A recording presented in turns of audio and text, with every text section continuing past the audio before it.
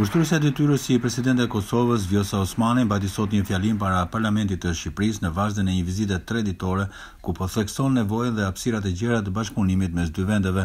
Zonja Osmani tha para deputetëve të Shqipërisë se Serbia nuk ka ndryshuar dhe se Tirana e Prishtina duhet të ndalin gjuhën e urrejtjes antishqiptare të saj dhe përpjekjet e Beogradit për të fshehur krimet e luftës kundër shqiptarëve të pafajshëm. Ekziston vetëm e vetëm një e vërtetë që ka ndodhur para syve të të gjithë botës, e ajo është që Serbia kreu gjenocid në Kosovë, kurse Kosova e mbrojtu e mbrojti pragun e shtëpisë së saj. Ky kapitull zonja dhe zotëri po ashtu na mëson se rinia briliante shqiptare, ajo në Kosovë, në Shqipëri e çdokund tjetër, e mërgata jonë e jashtëzakonshme, janë potenciali ynë më i madh. Prandaj detyrë e jona është të punojmë që ata vendin e tyre ta shohin si vend që nuk e meriton braktisjen. Ushtruesja e detyrës si Presidente e Kosovës, Vjosa Osmani tha se bashkëpunimi mes dy vendeve në ekonomi e diplomaci është i domosdoshëm dhe më se i dobishëm për popullin shqiptar gjë që nuk e pengon dot rregulli formal i kufijve, bashkëjetesa do të arrihet si deshën të parët tanë, tha ajo, si deshëm ne dhe si duan fëmijët tanë. Prandaj të punojmë bashkë të gjithë, si dy shtete sovrane, me dy flamuj, por me një shpirt që kurrë nuk ka mundur askush ta mposhtë. si populli më paqedashës, më proevropian e më proamerikan dhe t'i tregojmë botës së mbarë se ne mund dhe do t'ia dalim. T'i kthejmë dallimet tona në forcë për të shtyer shtetet tona përpara.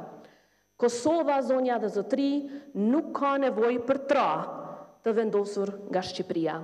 Në kohën e integrimit evropian, vendosja e çfarëdo barriere komunikimi në mes të dy vendeve tona është kundër frymës së lëvizjes së lirë dhe forcimit të marrëdhënieve ndërshtetërore e ndërshqiptare. Zonja Osmani ftoi deputetët e Shqipërisë të japin ndihmesën e tyre që flamuri i Kosovës të renditet midis flamujve të shteteve të tjera të NATO-s dhe të Bashkimit Evropian.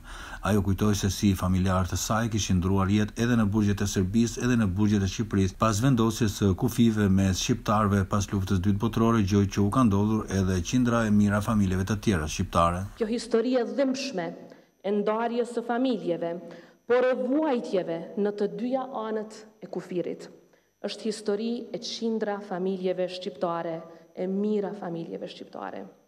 Por, le të jetë guximi i tyre e i secilit shqiptar për t'u thënë jo regjimeve të dhunshme, regjimeve shtypëse, udhërrëfyes për secilin prej nesh në rrugën tonë drejt demokracisë së konsoliduar e drejt një Kosove e një Shqipërie ku rinia jonë krenohet me vendimet që i marrim ne, si përfaqësues të tyre të zgjedhur. Zonja Osmani pati sot një takim me kryeministrin Edi Rama dhe nesër pritet të takojë politikanë të tjerë të Shqipërisë.